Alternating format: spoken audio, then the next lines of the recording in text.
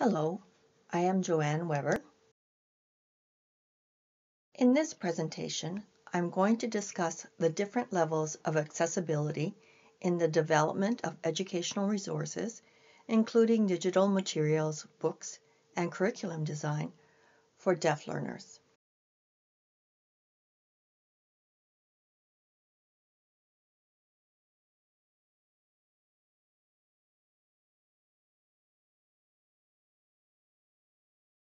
Many deaf children are not provided quality, consistent exposure to language, neither in a signed language nor a spoken language.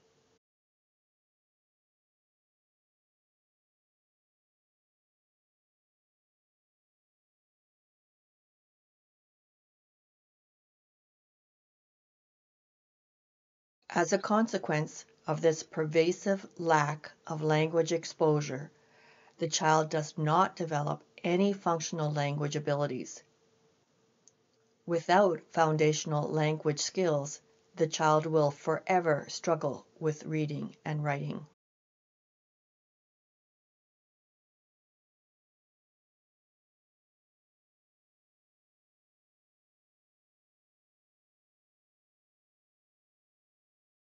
As part of universal design, Providing sign language translations for educational purposes does not guarantee accessibility to spoken and written material for a learner who is language deprived.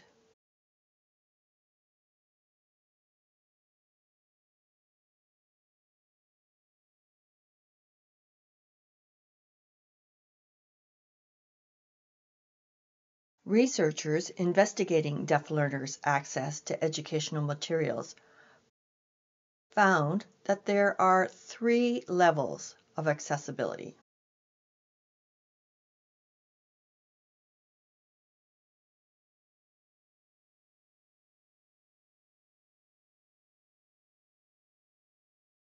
Level 1 accessibility refers to the learning management system or the courseware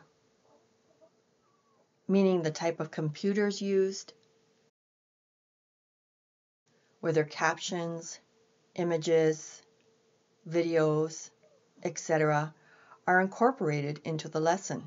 The student engages with the material while simply sitting at the computer.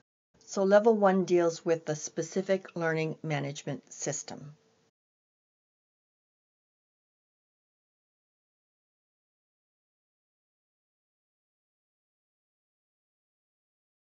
Level 1 requires internet stability. Without it, Level 1 access is not possible. Level 1 incorporates subtitles or captions of audio material. Video audio material is translated into sign language.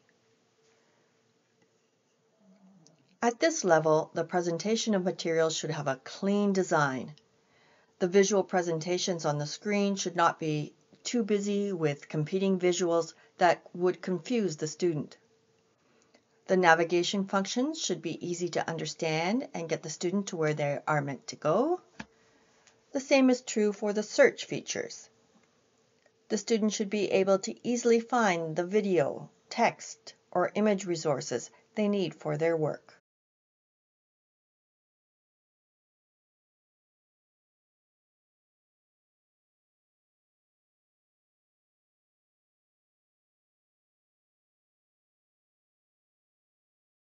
Level 2 accessibility refers to the interactivity between the student and the digital material. Is the lesson designed to have the student interact or respond? To do something on the computer? Examples include responding to questions on a quiz, clicking an icon to start a movie, moving graphics around on the screen to name a few examples.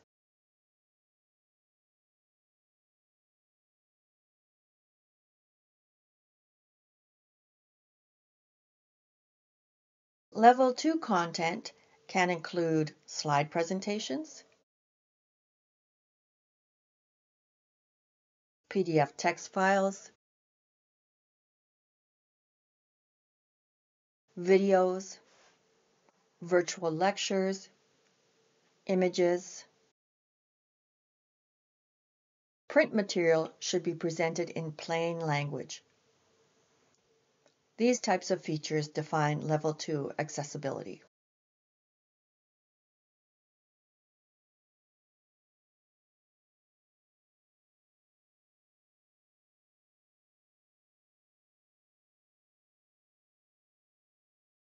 Level 3 accessibility addresses language and communication, which introduces complexity, a number of layers of complexity.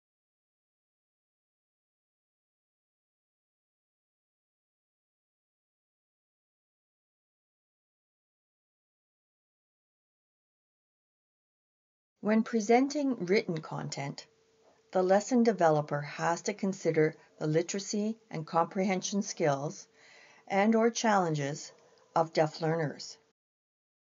Whatever is presented needs to match the reading skills of the student. We cannot assume the learner can read the written text on the screen.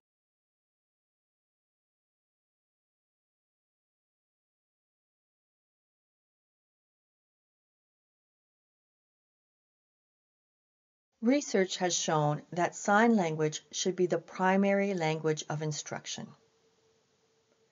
Evidence shows that instruction in sign language best meets the needs of deaf learners.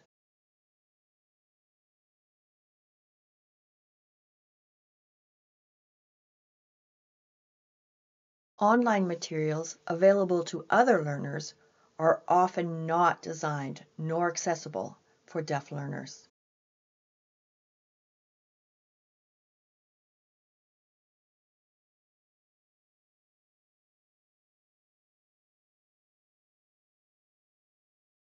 For deaf learners, access to linguistic and visual input is limited online.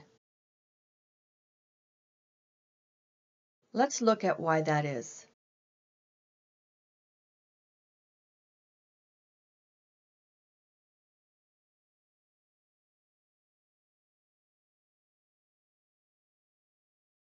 Digital materials and other e-learning resources look inclusive on the surface, Consider captioned videos or transcripts of audio presented lessons. On the surface, those resources are accessible.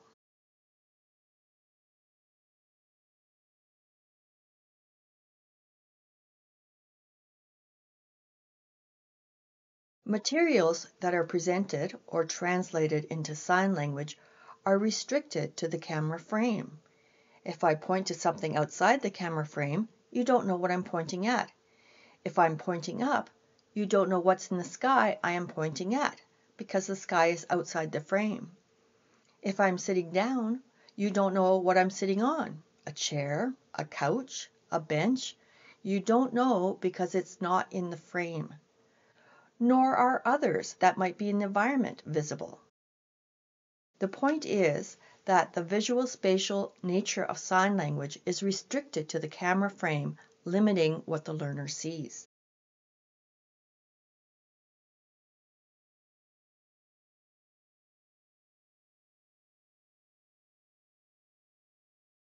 The natural expression of sign languages requires space and movement, which the camera frame also inhibits.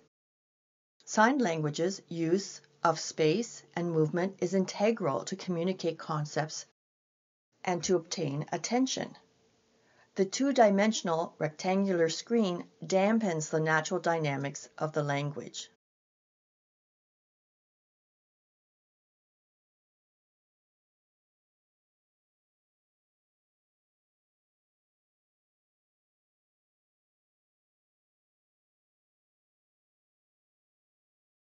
As the student is acquiring language or vocabulary through electronic teaching materials, there can be misunderstandings. As an example, the movement and palm orientation for the ASL sign glossed as death may be learned incorrectly. Errors could look like this. Where is the instruction and correction needed for their language development?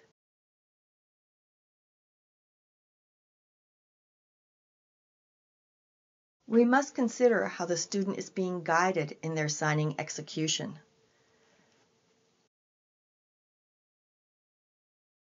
Are those opportunities provided?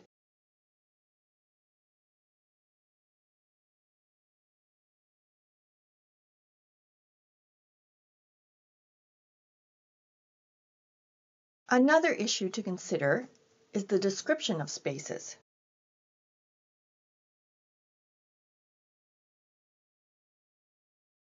If I was to share a narrative about a house with seven rooms, in ASL, I would use three-dimensional space to provide the information about the individual rooms' positions relative to the others.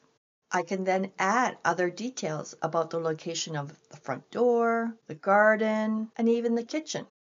On a two-dimensional screen, this could be confusing, so additional teaching aids such as images or video could be added to make the content clearer.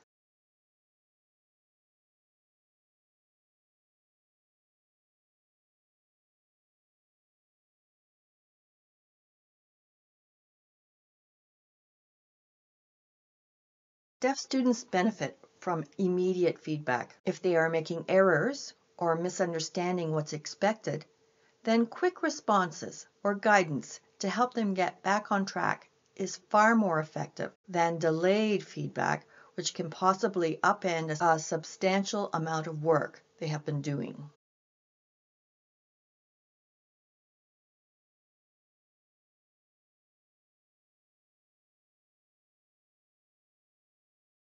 Deaf learners benefit from visual reinforcement of new material in the form of images, diagrams, concept maps, any variety of visual representations to describe the concepts and content being learned.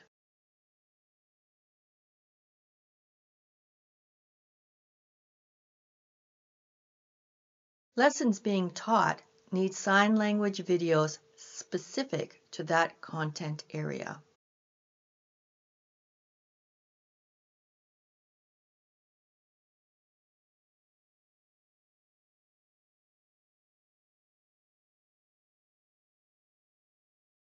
Many deaf children don't understand interpreters and don't understand the sign language translations of lessons. Often, this is due to the student's level of language deprivation.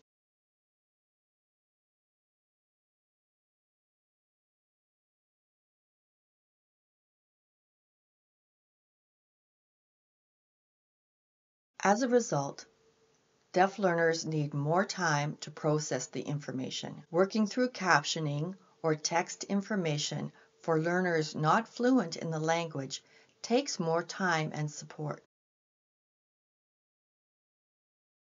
We need to create more learning environments for bidirectional, interactive communication and learning with deaf and hearing peers.